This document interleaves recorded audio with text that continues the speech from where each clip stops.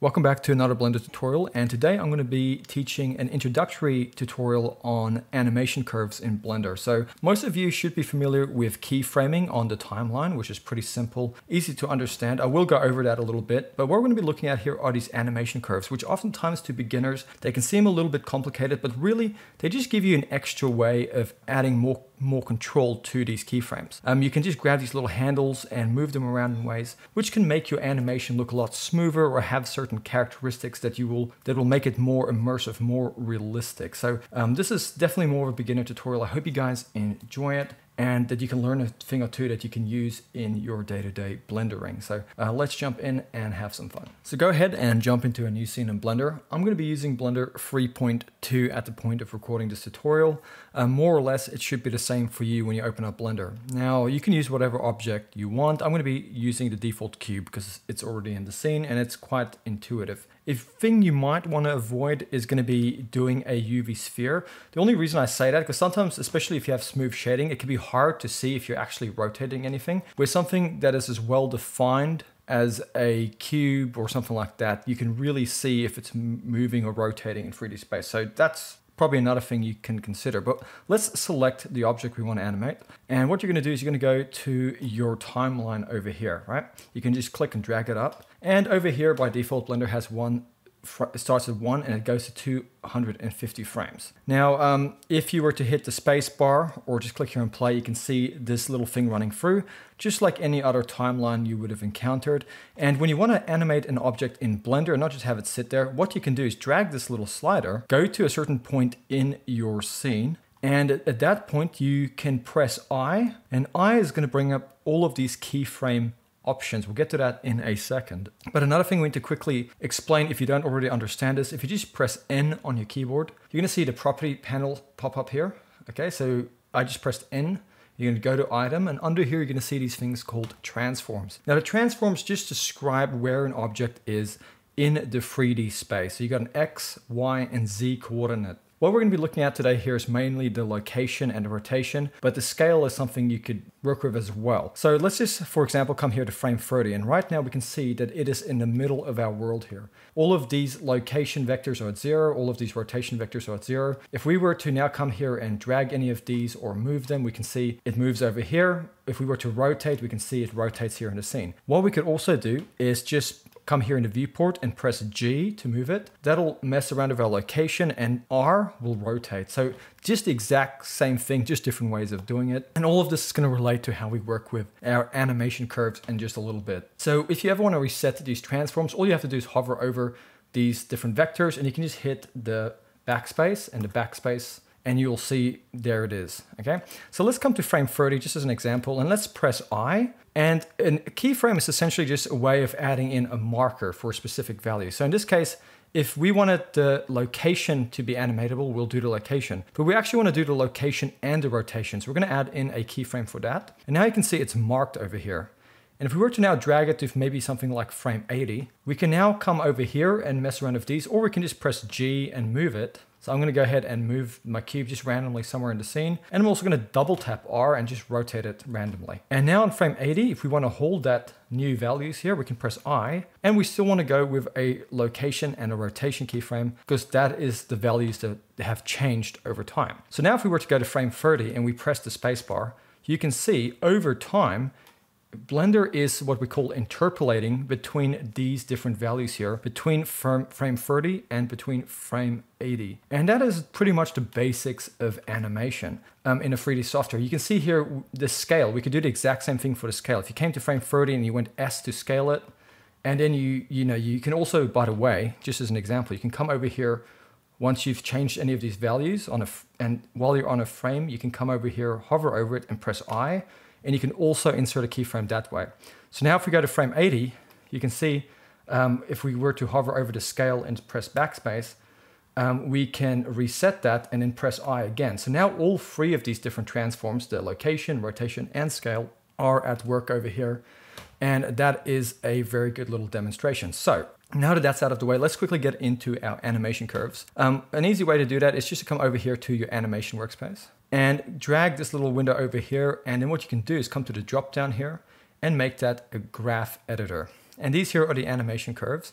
Now, at first, they actually look really complicated. In this video, I really, like I said in the beginning, I wanna show you guys that it's really not as complicated as you think at all. So let's quickly come over here, press N again, make sure we have that item here and we can see our transforms. And let's just use this as an example. Let's come to frame 30. Now, let's say we wanted to do something to one of these, um, these transforms here. We want to mess around with some of these values. If you come here to the dropdown, you can see here we have our object, our cube, we have our cube actions, and then we have our object transforms. And over here, it might look complicated, there's a lot of options, but all these things here are, are these exact same transforms we've been working with the whole time. It's just displayed over here for your convenience.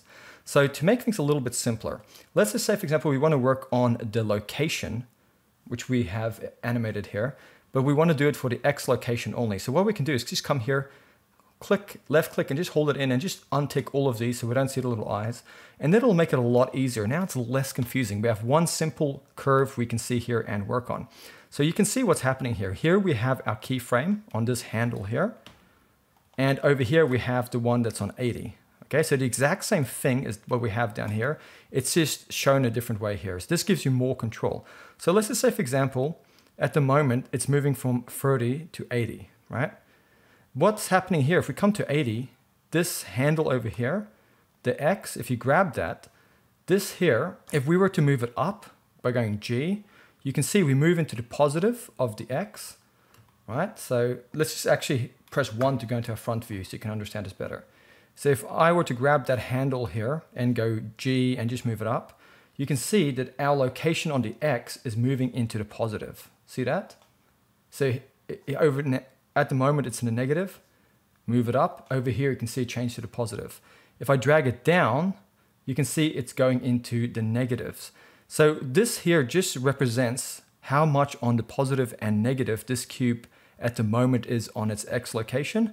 And dragging the slider over time just represents where on the time frame that is. So it's a very simple concept. It's not complicated at all. And the reason this is helpful. And the reason you want to learn this in the animation, the curve editor here is because sometimes you need to have a little bit more control. So at the moment, this might be a lot smoother of an action if we were to come here and grab some of these handles and just drag them and just make them a little bit more curvy. So I can click on this handle here, drag that one up. So what we're gonna get now is we're gonna have almost like a little bit of a pullback and then it's gonna come back down into the negative dip down a little bit and come back up. And that kind of gives us a little bit of anticipation and a little bit of ease. So if we now come to frame 30 and we play, the spacebar, we can now see on that X, um, it's functioning a little bit differently. And you can come through here and do the same with each one of these. It just gives you the ability to have a little bit more control with your animation. But this is a little bit complicated to really see what's going on here. So let's just um, delete these keyframes here. Okay, so just select them and delete them. And let's just come over here and just reset these by going backspace over these transforms. So now we're at the beginning and let's just come to frame one. And so we can better understand it, let's just go I and insert a location and rotation. And let's come to frame 40 and then go G and move it over to the side. And then R just to rotate it and then go I, insert a location and rotation, right? Now what we're having is it's starting here and then it is just slowly going up here. It's not a linear movement. And the reason is you can see this curve here. This curve is nice and smooth. So it starts a little bit slower, then it speeds up and then slows down. And this is what you call um, easing in and easing out. Now, if you were to select these keyframes down here and you were to press T, you can change it to linear. And now you can see it's linear. There's no longer any curve over here. So if you now were to come to frame one and press the space bar, it's just one consistent movement. There's no easing in and easing out. And there's going to be some situations where you want that, but generally people tend to just, you know, have these set to Bezier, which smooths that out for you. So you can also come in here and exaggerate it a little bit more. So on the X here, we can come on the X location, grab that handle here on frame 40, and then just drag that up a little bit.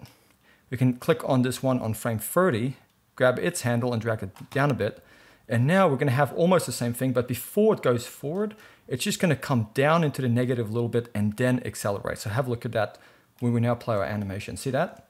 Just see how it hooks back just a little bit and then goes forward. And just that little extra detail can add a lot more realism to the movement of an object, make it look almost like a simulation, make the physics make a little bit more sense.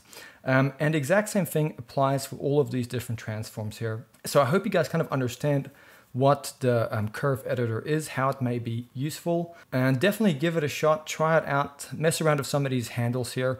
Remember, you can turn some of these off to make it a lot easier. And just think in terms of the positive and the negative and how things are moving over time.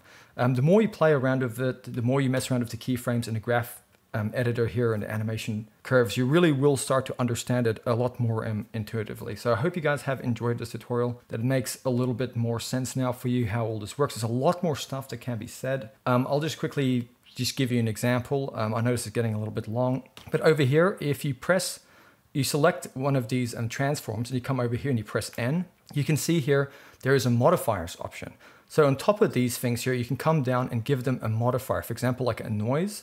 And now it'll give a generated effect on top of that curve. So now we have a little bit of jitter. So you can come here, you can increase the scale to make it more bigger, a little bit larger waves. And you can also influence the strength. So now you have a little bit of that random noise in there, which can add even a little bit more um, natural unevenness or a little bit more jitteriness to your animation, especially when you're working with cameras and things like that. Having that sort of noise um, can be really handy to um, add that shakiness to a moving object. So all of these things are fun to play with. Definitely try it out. And I'll see you guys next time for another tutorial.